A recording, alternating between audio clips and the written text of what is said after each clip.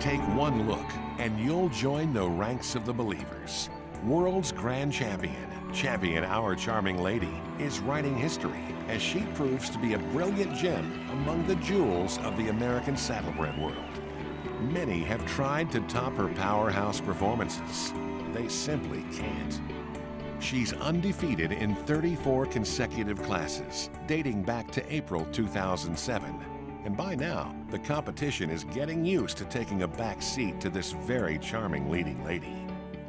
Collecting numerous championship wins in three gated divisions across the region, this eight-year-old mare enters the ring like a powerful ray of sunshine, eclipsing the competition. Even more, each of her championship rankings is unanimous. After collecting dozens of wins over the past two years, it was full speed ahead into 2009.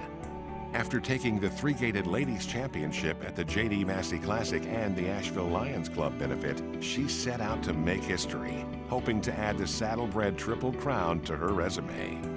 First, a win at the Lexington Junior League Horse Show this summer. Weeks later, another display of brilliance at the Kentucky State Fair World's Championship Horse Show, where she was lauded as the only repeat World's Grand Champion from 2008. Here's your world champion down victory lane. Then, in November, she brought down the house at the American Royal National Championship in Kansas City. It is champion, our charming lady. Becoming the only winner of the Saddlebred Triple Crown for 2009. A huge victory for owners Jack and Donna Finch, and a career high for trainers Evan and Mary Markham Orr. In the barn, champion Our Charming Lady is known as Grace. She's an affectionate and clever girl who keeps tabs on everyone and thrives on routine. Sweetness aside, she can be a bit of a diva though, but it's no match for her trainers, who have formed a tight bond, letting her take each day at her own pace, achieving and eventually surpassing each goal that is set. Her impeccable breeding has history buffs excited for the future.